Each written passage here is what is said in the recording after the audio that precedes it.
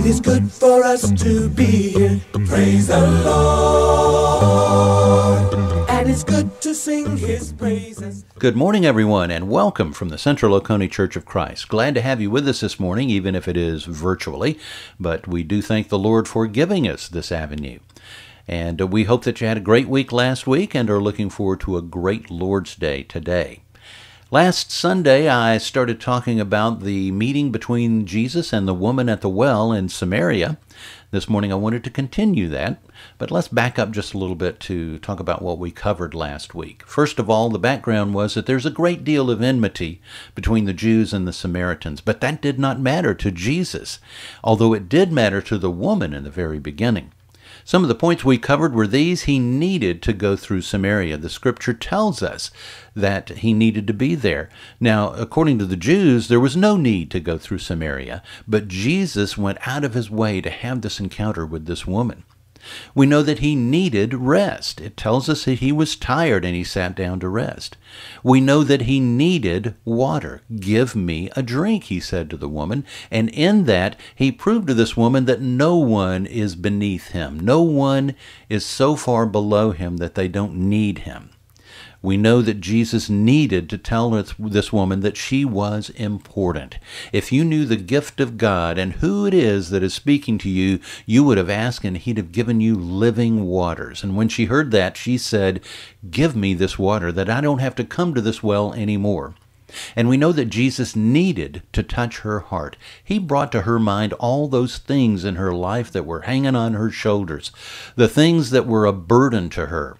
Now, she tried to deflect the question when Jesus asked her about those things, but Jesus was able to lovingly guide her back in the direction of the truth. And the truth was that he was the Messiah.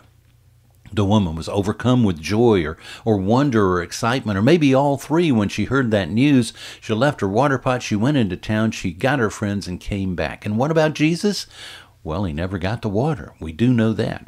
And that's where we're going to pick up this week in John chapter 4, and we'll be looking at verses 26 through 28 to begin with. And we'll start right where we ended last week. Jesus said to her, I who speak to you am he. And at this point his disciples came, and they marveled that he talked with a woman. Yet no one said, Who do you seek? Or Why are you talking with her? The woman le- then left her water pot, went her way into the city, and said to the men, Come see a man who told me all things that I ever did. Could this be the Christ? Then they went out of the city and came to him. Now here's a point to consider. The appearance of the disciples is tucked between some action. Basically, what happens is Jesus tells the woman that he's the Messiah. That's when the disciples walk up. Immediately after that, the woman leaves her water pot and goes away. Have you ever been talking to someone and have some, and had somebody come up and interrupt your conversation? And this was an important conversation. Maybe you were having a breakthrough with your son or daughter, or maybe you were having a breakthrough with a friend or a coworker at, at your place of employment, and someone came and butted into your conversation. It happens all the time. Well, the woman had just been told a startling fact. The Messiah was standing in front of her. And suddenly more men appeared, Jewish men. They were obviously confused at the situation, but to their credit, they didn't say anything right then. They were standing on the periphery of the conversation, maybe waiting for a break so they could say something. Every indication is that they may have just been staring at Jesus and this woman. But then the woman leaves, and I believe that she had every intention of coming back because she left her water pot. As she leaves, the situation is kind of diffused for the disciples. Instead of asking questions about what was going on, though, they said to Jesus, Why don't you eat? We brought the food, eat. And that's where we're going to pick up the passage right here, and we're going to go to John chapter 4, verses 31 through 34. In the meantime, his disciples urged him, saying, Rabbi, eat. But he said to them, I have food to eat of which you do not know. Therefore the disciples said to one another, Has someone brought him anything to eat? Jesus said to them, My food is to do the will of him who sent me and to finish his work. I remember a Charlie Brown cartoon once where Linus and Lucy were standing at the baseball field and uh, they looked at Charlie Brown and Linus said, I believe he'd rather manage than eat. So Lucy walked over and offered Charlie Brown a snack and he looked at her and said, No thanks, I'd rather manage. Lucy walked back to Linus and said, You're right. it's nice to have a sister agree with you for once, isn't it? In essence, that's what Jesus was saying to the disciples. Jesus never got the water, and he was too busy thinking about the Samaritan woman to worry about food. But he uses that analogy for the disciples. My food, my nourishment, what fills my soul up, what energizes me, is to do the will of him who sent me, God, and to finish his work. Now remember, this is very early in his ministry. We don't know what he's been telling them other than what's mentioned in chapters uh, 1, 2, and 3 of John. But we do know that he's trying to help them understand that there is a wider mission. And he's also trying to help them learn to focus on what's really important. So he gives them another analogy, and we'll pick up with, pick up with verses 35 through 38. Do you not say, There are still four months, and then comes the harvest? Behold, I say to you, Lift up your eyes, and look at the fields, for they are already white for harvest. And he who reaps receive, receives wages, and gathers fruit for eternal life, that both he who sows and he who reaps may rejoice together. For in this the saying is true one sows and another reaps. I sent you to reap that for which you have not labored. Others have labored, and you have entered into their labors.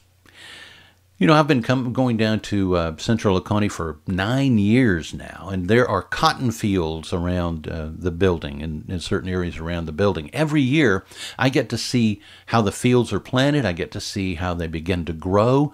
Uh, the green pops up, the field becomes green, and then it becomes white. That's how it sounds when it becomes white. No. Anyway, that you know it becomes white, and when I look at that, I think it's time to harvest. But the farmer knows when it is time to harvest, and it's actually a little bit later than I think.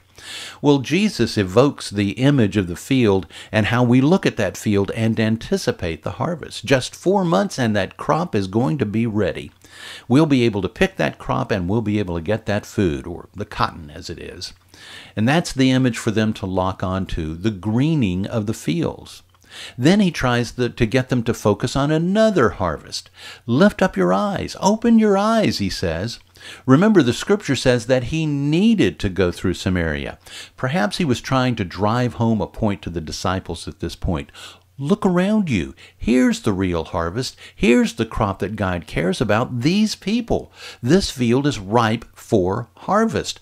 Put aside all those things that separate you and understand that God loves these people as much as I do. In one of his proverbs, Solomon said, The labor of the righteous leads to life, the wages of the wicked to sin. That's Proverbs chapter 10 and verse 16. In this passage, Jesus states that everyone who labors in this field gathers wages and fruit for eternal life. What Jesus is saying is close to what the, uh, Solomon was saying in Proverbs. Laboring in the fields is worthy of wages. Now we know that the according to Paul, the wages of sin is death. But what are the wages of doing good? Well, there are two thoughts. First, it could be that something is awaiting us on the other side of this life, even more than just heaven itself, something that we'll enjoy in eternal life. It could be the joy of knowing that we did what the Lord asked us to do, or it could be the joy of seeing in heaven that person that we reached. Secondly, in this passage, Jesus says that we'll be rejoicing with that soul that's harvested for the Lord.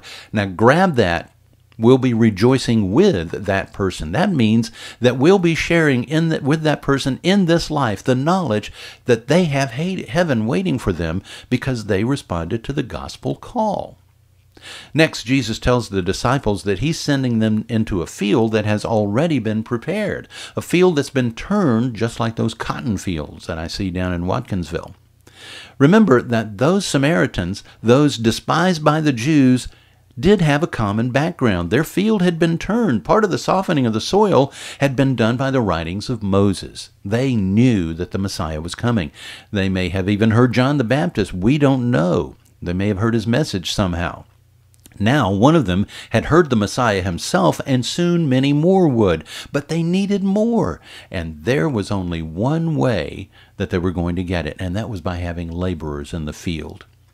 Shortly after the Sermon on the Mount, Jesus was a very busy man. In Matthew 9, we, it talks about how he was healing people and teaching people, and at the end of the chapter, we read this.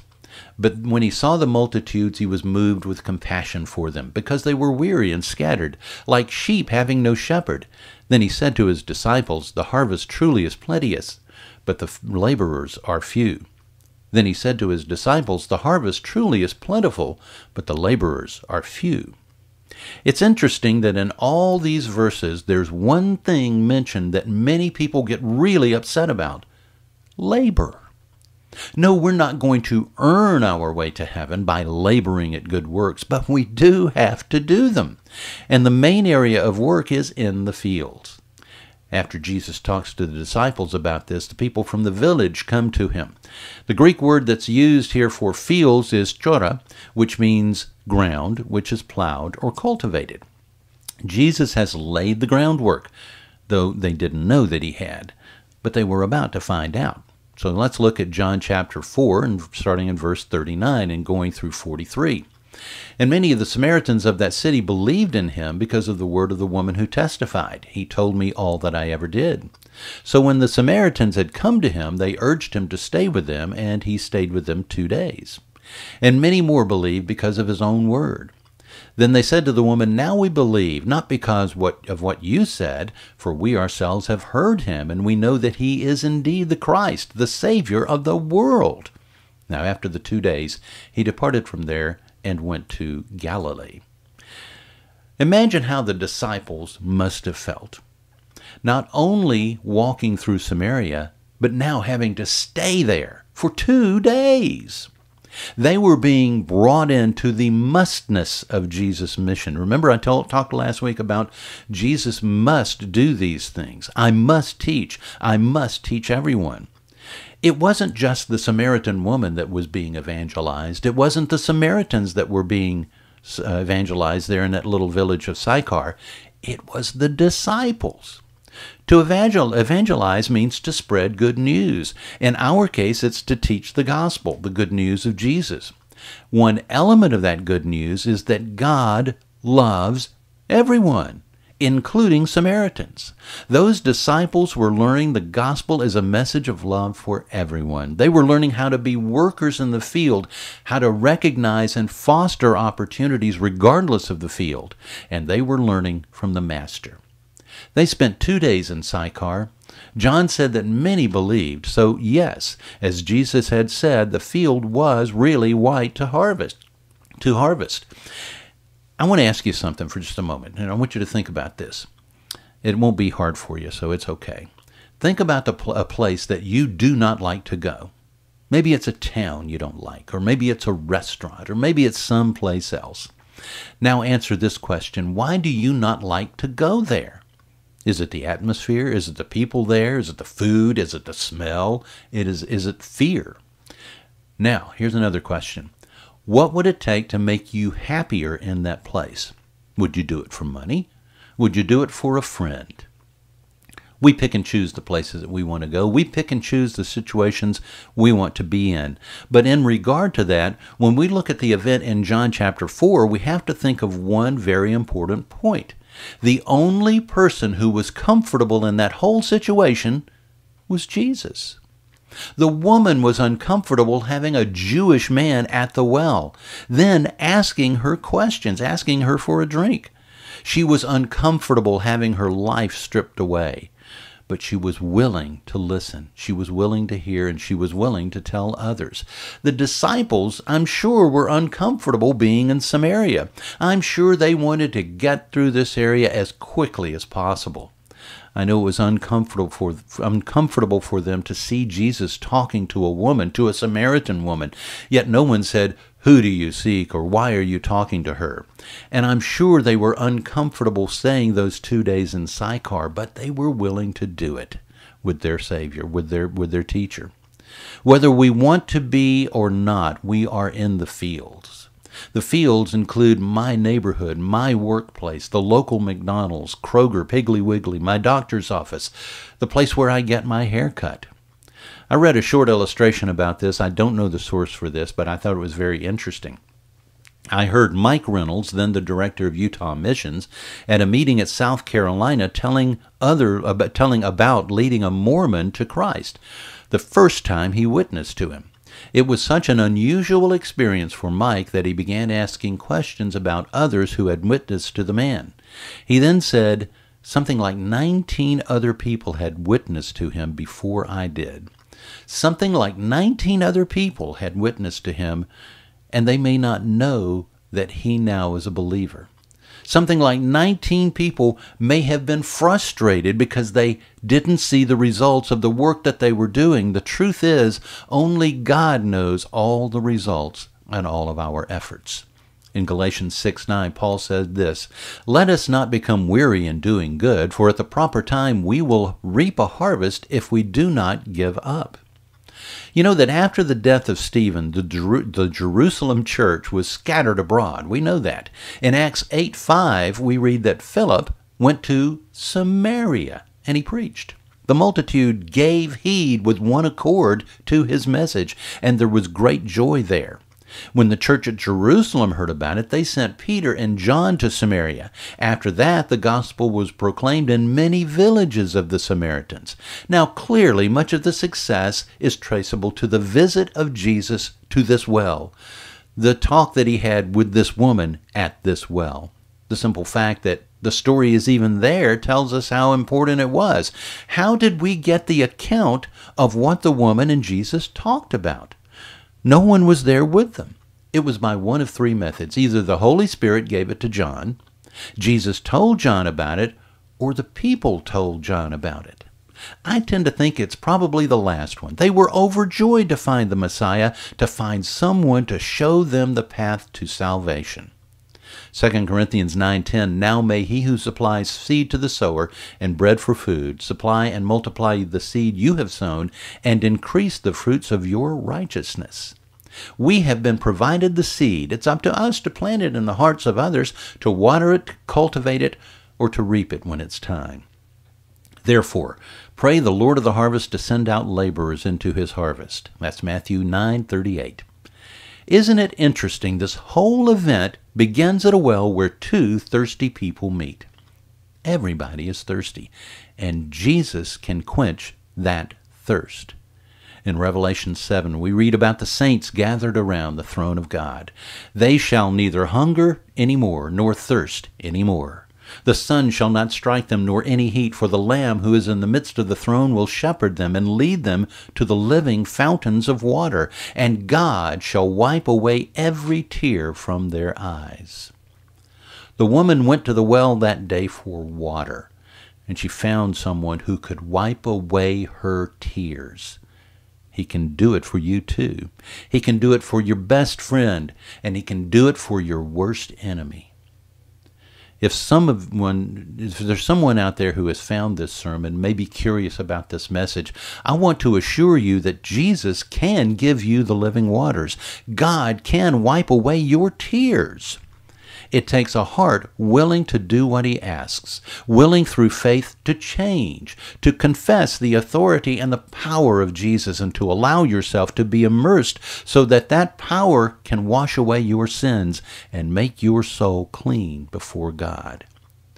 Let us know if we can tell you more. Let us know if we can help in your journey to find Jesus. Would you pray with me? Our Father, we thank you very much for this morning and this opportunity to virtually be together. We thank you for the technology that's there that allows us to do it. We thank you, Father, for the message that you gave us and the woman at the well, and we thank you that the Lord loves us, that you love us, that Jesus loves us so much that he is willing to stoop down and teach each one of us. We thank you, Lord, for the people who've gone before and gave us the message, and we pray, Father, that we can take this message to others. Pray, Father, that you will bless us in all that we do. That we pray, Father, that you'll continue to move in our hearts to do your will and to do your work. And we pray, Father, for those who may be sick at this time, who may need a, a watchful eye, and we pray that you'll bless them and heal them. Pray, Father, that you'll bless us through this day and through our lives. Guide us always. And we pray this in your Son's name. Amen. Well, thank you once again for joining us this morning. We hope that this has been an encouraging lesson for you. And uh, if you get a chance, read that story again. It's a great story, and you can find all kinds of little things in there. Thank you once again. Have a great Lord's Day.